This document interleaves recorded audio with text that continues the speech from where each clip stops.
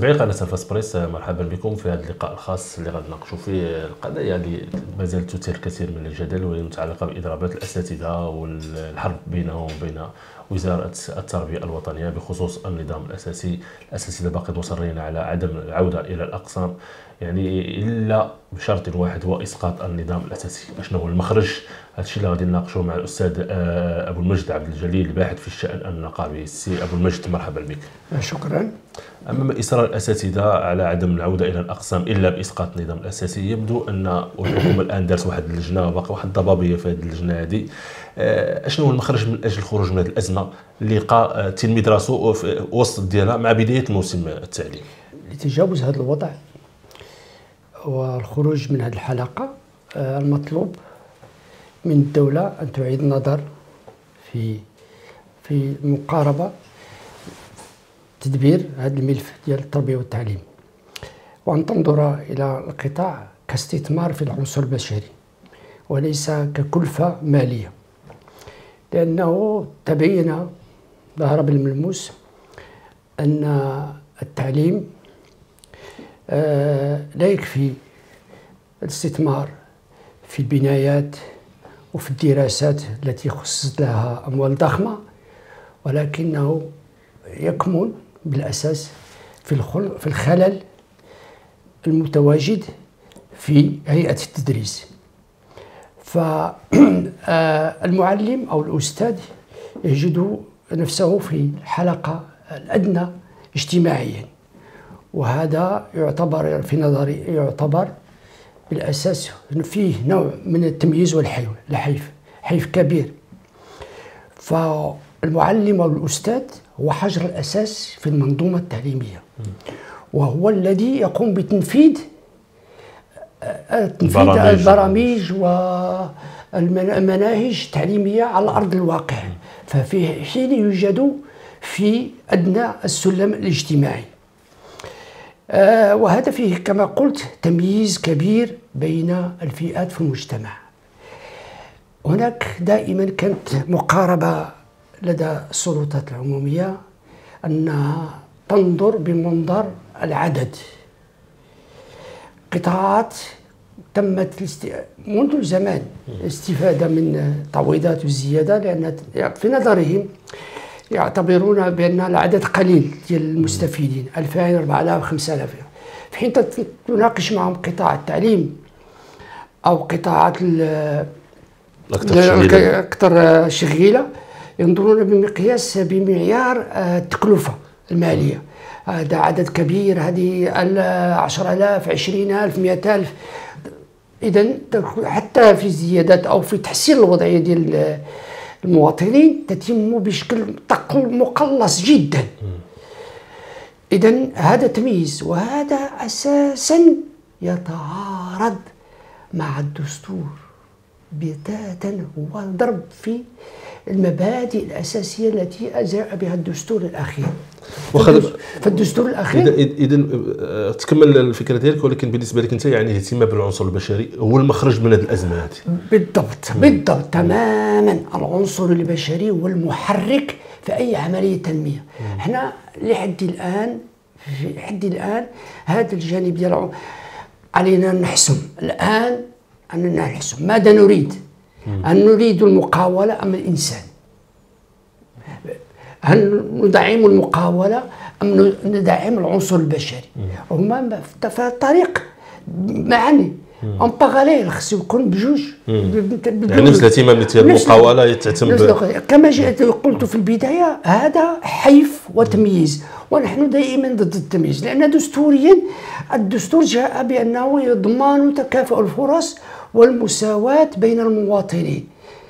ففي الدستور شيء مهم أن ورد عدة مرات كلمة المواطنون والمواطنات تقريبا 16 مرة على صيغة المؤمنون والمؤمنات والمسلمون والمسلمات. علاش لأننا فيها حقوق ستاتيو فيها حقوق وفيها واجبات. إذا في الأرض الواقع عندما تقول في الدستور في المواد في الفصول الأخرى أن هناك مبدأ يعتمد أساس صلب الموضوع وتكافؤ الفرص. في الواقع يعني لا نجد نجد العكس. مخ... الأمور مختلفة تماما. ديسكريميناتوار يعني هذا الشيء؟ يعني من خلال الكلام ديالك تيبان بأنك أنت تتميل للطرح تاع الأساتذة اللي تيقولوا بأن خص ضروري يعني الاهتمام بالوضع ديالنا يعني الوضع ديالنا الاعتباري. عاد يمكن نرجعوا للدراسة. طبعا. السياسة هي فن ممكن. للخروج من هذا الوضع إلى وضع أحسن. لابد من الرجوع إلى الطاولة. طاولة الحوار. والجلوس في مائدة النقاش وإعادة المرسوم. المحدد القانون الأساسي الخاص للموظفين التربية والتكوين والتعليم. لابد أن يعود إلى إعادة الصياغة وتعديل بعض المواد. البعض تيقول صعب أن يتم إسقاط هذا النظام لأنه طرح على مجلس الحكومة آه. خرج في الجريدة الرسمية. أشنو هو الحل في هذه الحاله؟ الحل أن المرسوم هذا مرسوم ماشي قانون. قانون مسطرة قانون هو أصلا منظم للقطاع التعليم هو القانون الإطار في مجموعة المبادئ. على حال المرسوم أسهل بكثير آه، لأن القانون فيه خصوصا التنظيميه معقدة اما القانون العادي نسبيا. المرسوم المسطرة ديالو أسهل لأنه يوقع من طرف آه، رئيس الحكومة. التعديل ديالو والتغيير ديالو تتم بشكل مرونة. اذا إذا كانت هناك اراده حقيقية. يعني بامكان دابا رئيس الحكومة إسقاط النظام الأساسي بكل سهولة. تعديل ديالو وتغيير ديالو. آه. آه. أو تعديل المواد التي تشكل ضرر للشغيلة التعليمية. وهي مواد كثيرة. آه. إعادة النظر فيها. اذا كما قلت في في البداية اللجوء للرجوع للطاولة والتركيز. بالأساس التركيز على أن التلميذ هو المحور كل التعليم كله تدور عليه. والأموال الدولة كلها في هذا القطاع تدور حول حول التلميذ. لابد من مراعاة حقوق التلميذ اولا. والحكومة لابد أن تراعي مبدأ الإنصاف. بالنسبة للمعلم والأستاذ. واخا قلت العودة إلى جلسة الحوار الحكومة يعني عبرت الاستعداد ديالها انها تعود إلى جلسة الحوار. ولكن جلسة الحوار شكون تيقول فيها؟ البعض تيقول خص شكون النقابات؟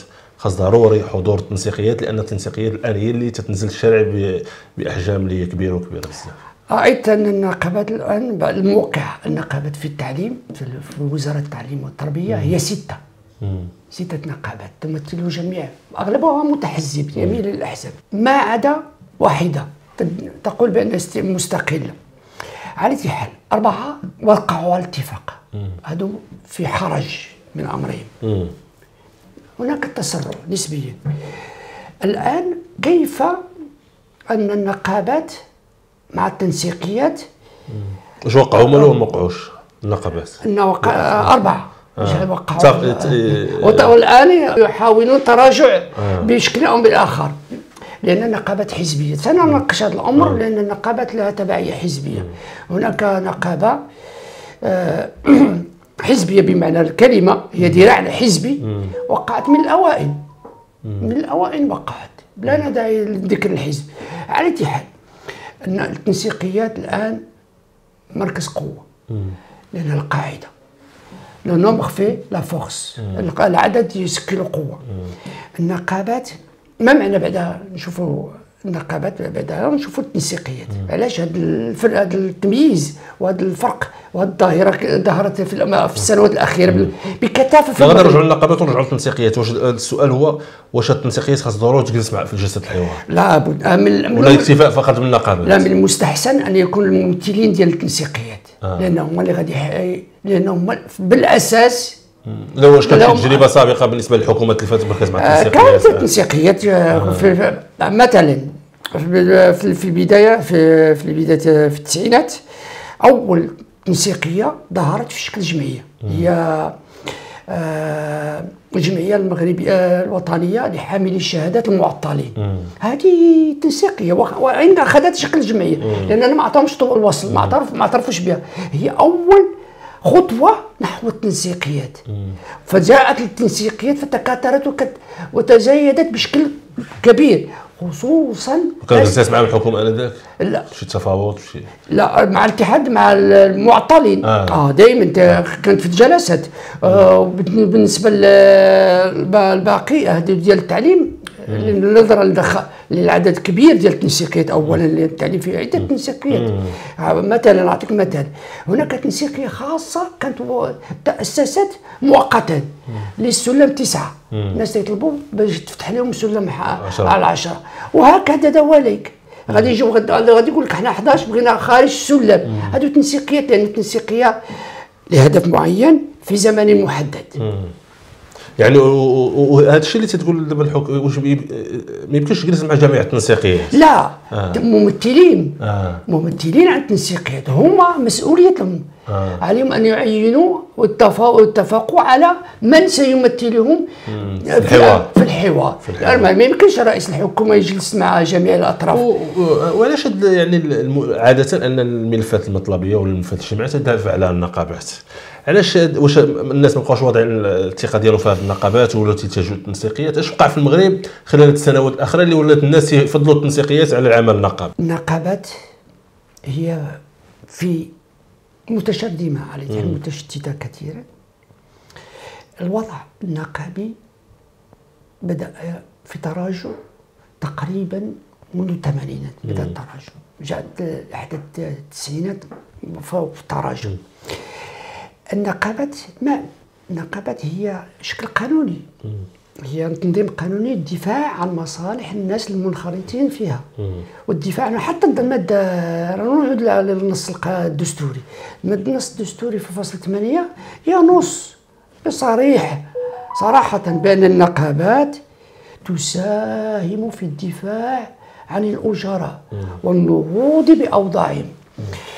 إيه علاش وقع هذا الخلل؟ لأن النقابات آه، أخفقت في علاج عدة ملفات سابقا. وفي علاج مشكل بالأساس بدأ مع المعطلين. فجاءت ملفات أخرى فتقع تماطل في في معالجتها.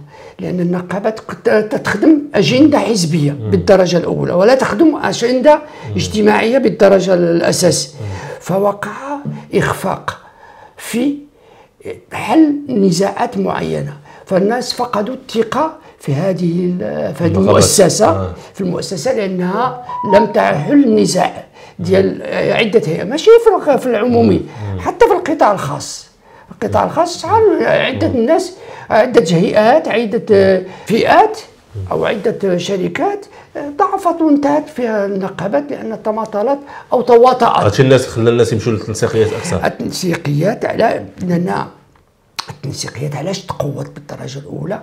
لأن كان هناك خلل في النقابات. ضعف التواصل وعدم الجدية في التعاطي مع الملفات الشائكة. ضعف التواصل والتفاعل مع التفاعل مع المتغيرات ومطالب جعل النقابات. حين أن التنسيقيات عندها قوة في التواصل ودليل على ذلك أنها تتحكم بشكل آخر في مواقع التواصل الاجتماعي. فلها قوة قوة في هذا وهذا هو اللي أعطاها واحد النفس وأعطاها واحد التوسع واحد الانتشار بشكل. حين أن النقابات المواقع التواصل ديالها حتى لي سيت ديالهم بالنسبة تدخل جميع كاين ضعف ضعف التواصل. ضعف التواصل. فهذا كان لصالح لصالح صالح التنسيقيات والتنسيقيات الآن. الغريب المفارقه التنسيقيات هي ثقيلة في الميزان وقوية في الميدان. لكنها لا تملك الشرعية آه. في التفاوض. في حين أن النقابة أن النقابة تقلصت ووقع ما في وعندها شرعيه وعندها شرعيه عندها شرعيه عندها شرعيه في التفاوض والحوار. ولكن هناك البعض البعض تيقول بأن خاص النقابات الآن لأن المطالب تاع التنسيقيات ولات واضحة. خاص النقابات هي التي تحمل المطالب تاع التنسيقيات اللي ولات واضحة كما قلت وتطرحها على الحكومة. والحكومة تستجيب لهذيك المطالب اللي ولات واضحة وغتسد الملف نهائيا. هذا هذه مقاربة هذا منظور ولكن هل التنسيقيات مستعدة لتخويل هذه المهمة لأن لأن هناك مشكل مشكل ثقة. ثقة. مشكل ثقة ومشكل آه، تفاعل. هما خذوا الطريق ديالهم وأسسوا التنسيقيات ديالهم إنما المشكل مشكل عدم الاعتراف بها. على لأن الدولة لا تريد الاعتراف بالتنسيقيات. ولا تريد لبسها لباس قانوني. لماذا؟ لأنها بحاجة للنقابات. داعمة لها في المسائل الاجتماعية. حينما تطرح مشكلة أو ظاهرة اجتماعية أول ما تلجأ للدول ماشي المغرب أنها النقابات هي أقرب ومطلوبة في التحور في المشاكل الاجتماعية وفي النزاعات الاجتماعية من الأحزاب والجمعيات. وهذا تعطيها واحد آه، من نافذة لتسوية كثير من النزاعات. ليس في المغرب فقط وإنما في في الدول كامله في تونس مؤخرا أن كانت المشكل ديال التعليم والنقابة قوية في تونس. الاتحاد العام التونسي للشغل فضى وحل المشكل ديال التعليم من خلال اولا آه، الطرق السلمية إلى آخره ولكن بالتفاوض والحوار. سي أبو مجد شكرا جزيلا على التوضيحات هذه والدعوه متتبعي قناة فاس إلى اللقاء في فرصة قادمة إن شاء الله.